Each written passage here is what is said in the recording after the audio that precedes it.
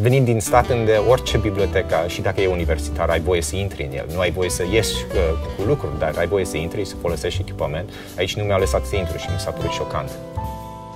Biblioteci publice în România, nici nu știam că mai există așa ceva. Adică cine se mai duce la bibliotecă publică? Dar cum? Dar nu s-au privatizat, nu s-au vândut, nu s-au făcut covrigării, gogoșerii, tinichigerii din spațiile astea altfel minunate cât de tare uh, există apetit pentru lectură la țară în România. Cine mai uh, înghite așa ceva și cine mai vrea să pice în, uh, în păcatul de a transmite celorlalți minciuni frumos împachetate.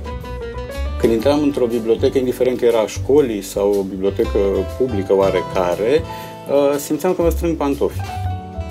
Dacă aș formula acum, precis, un salariu pe care îl câștigă un om din ăsta, s-ar arde siguranțele în instituția asta a voastră.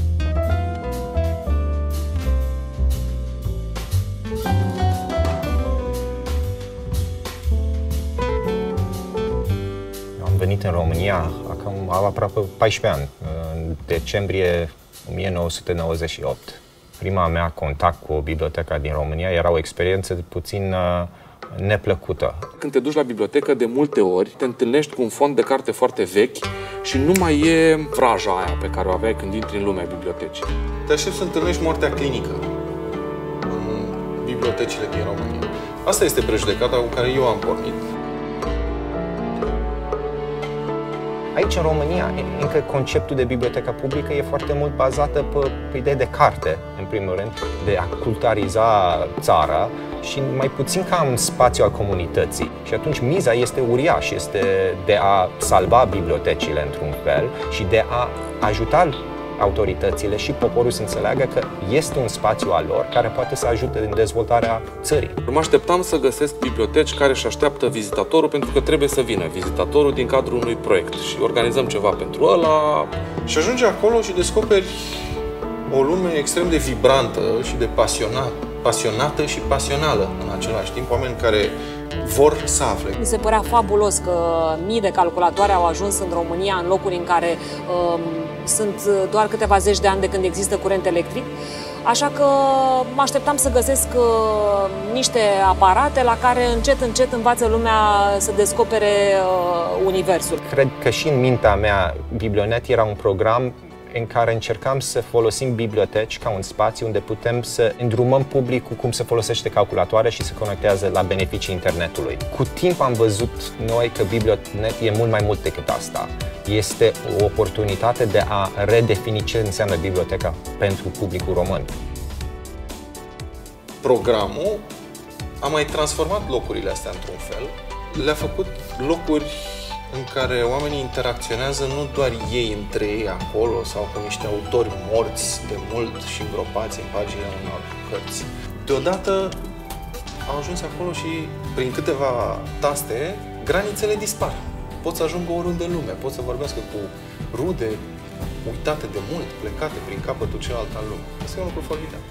Am fost la un moment dat bibliotecar, bine, în alte timpuri și în alte condiții și în alt climat și cu altă fișă de post lucrurile nu mai seamănă și e normal să nu mai semene. Simpla ipoteză a unui circuit prin țară și a unui exercițiu de scriere uh, în timpul vizitelor, pe mine m-a crispat la, la început. După mi-am dat seama că lucrurile nu stau chiar atât de, de grave. Eu risc să fiu prăpăstios câteodată. Am avut niște experiențe rutiere la, la limita uh, pitorescului și la limita suportabilului în același timp și țin minte uh, marile depășiri cu o Dacia prin uh, drumurile din Maramureș mai ales și pentru ca depășirea să se producă în mod fericit, uh, pilotul oprea aerul condiționat în timpul depășirii, în momentul în care mă simțeam ca într-un rotisor. Dar până la urmă și astea au făcut parte din, uh, din farmecul și din parfumul expediției. Am văzut povești. Uh, am întâlnit cu oameni uh, în care biblioteca în formatul evoluat, în format uh, conectat la internet cu bibliotecari instruiți, au început să aibă niște povești minunate. Încă o dată, uluitor că poveștile astea sunt toate adevărate.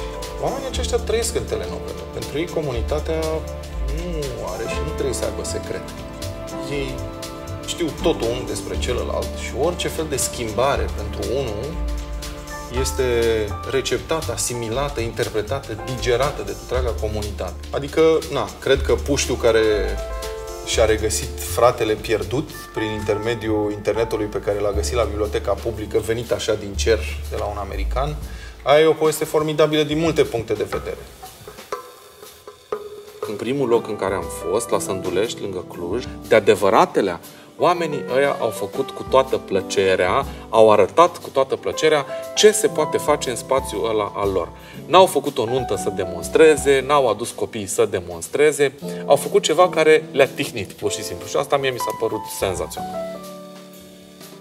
Era vorba despre un grup de doamne care se întâmpla să se fie obișnuit să petreacă timp împreună în fiecare săptămână într-o bibliotecă orășenească din Piatra Neamț.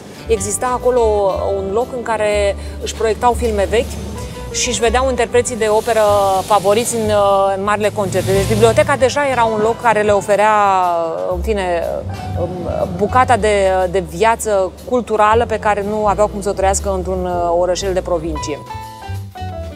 Una a fost întâlnirea cu un băiat de 14 ani, care era voluntar la o bibliotecă din județul Vâlcea, din Pietrachi, uh, autodidact, cu o formidabilă pendulare între vorbirea naturală și cursul universitar. El făcuse un DVD uh, cu uh, învățarea fizicii într-un mod distractiv. E, în momentul când îl întrebai ceva legat de fizică, devenea profesor universitar. Te simțeai în bancă. Și m-a impresionat nu doar pentru felul în care se prezenta el, m-a impresionat grija cu care îl, îl, îl trata bibliotecara de acolo, Crina Popescu, și m-a impresionat regula de trei simple pe care am făcut-o eu în, în minte și am spus dacă în fiecare județ am avea 1, 2, 3 oameni din ăștia, România ar putea să arate altfel peste câțiva ani. Nea Marie refuză să-și trimită copiii la ora de religie, la școală. Prima explicație a fost următoarea. Nea Marie, de ce nu-ți trimis copiii la ora de religie? Se duc la ora de religie la școală, învață că nu e bine să dai în cap, să furi, să minți, dar că până la urmă o să fii iertat. Cum mai tratez eu cu copiii ăștia acasă? Uh, Nea Marin e pasionat de lecturi, a identificat trei erori fundamentale la Nietzsche, se ceartă de ceva ani buni cu Kierkegaard, uh, citește marea filozofie, a divorțat pentru că relația cu vechea soție se petrecea, citez, în vechea ordine filozofică. Am încheiat citatul. Cum adică în vechea ordine filozofică? Adică, domne, nu eram egali. Acum, cu noua nevastă, suntem egali. Uh, avem ce discuta, pornim de la premize egale, pentru că s-a terminat definitiv cu epoca patriarhală, trăim într-o epocă matriarhală, dar ăștia din sat nu înțeleg treaba asta, am încheiat citatul. Neamarin fiind un tip absolut pașnic, uh, un om care a descoperit lectura, un om căruia i s-a deschis lumea după ce a descoperit netul de la biblioteca din Vadul Moților. Poveștile care avem în carte ar fi cum ar fi o bucată dintr-un film. Poate unul dintre cele mai expresive personaje este fostul militar care are cinci copii pe care i-a pierdut în lume, s-a recăsătorit cu o văduvă care avea cinci copii pentru că a spus dacă altcineva are grijă de copiii mei undeva, eu de ce să n-am grijă de copiii altcuiva de care nu are cine să aibă grijă acum?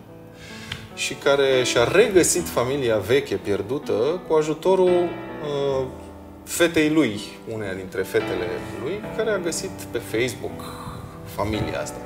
Și acum brusc, sigur, are 10 copii. Bibliotecarul fotbalist, evident, nu putea să apară decât în județul Timiș, care e județul meu de, de suflet, într-o comună, în Comloșu Mare, unde altă dată nu te plimbai.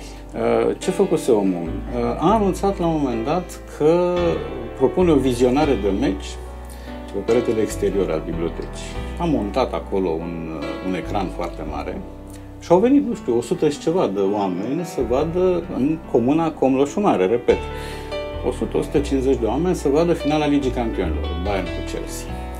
Uh, asta înseamnă un public între alu Dinamo și alu Sportul Studențesc la un meci obișnuit.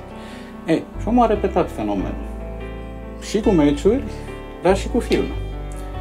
Și a început să facă vizionări de filme, de drive-in, la biblioteca din Comlus. Același ecran care nu mai era lipit de peretele bibliotecii era scos pe una din străzile laterale pe care se afla și biblioteca și oamenii veneau fie cu mașina, fie cu bicicleta, putea să fie drive-in sau ride-in, depinde, și stăteau acolo la fil.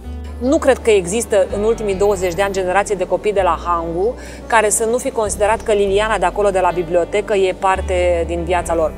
Mai e povestea puștiului care a crescut ca orfan într-un sat ca să afle la 24 de ani că părinții lui adevărați trăiesc la 20 de kilometri departare. Adică asta este ceva formidabil, cum să spun, e, se scriu romane despre asta. Toți oamenii pe care i-am cunoscut, fără excepție în astea 10 biblioteci în care am fost, fac lucrurile astea în totală absență a presiunii banilor. Am găsit o bibliotecă unde bibliotecara și prietenele bibliotecarei sunt experte în programe europene. Și cu toate astea nu le bagă nimeni în seamă, pentru că e vorba de o bibliotecă, frate, și atât. Nu e nimic important, e o bibliotecă. Știind că aceste lucruri sunt posibile, acum începem să vedem, spre exemplu, românii care intru la biblioteci, sunt învățați de bibliotecarii cum să fac un format de CV, care sunt site-uri de a uploada aceste CV-uri și au început să iau joburi. Uh, sustenabilitatea ar însemna că acest sistem de biblioteci publice se poate evolua fără noi aici. Și eu cred că cartea este un loc și campania este un loc unde asta poate să începe. Acest demers de a, a evolua fără noi.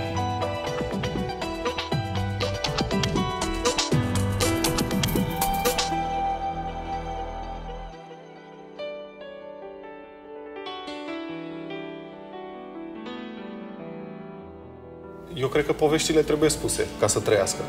Dacă se întâmplă undeva ceva grozav și nu e spus mai departe, atunci e aproape ca și cum nu s-ar fi întâmplat.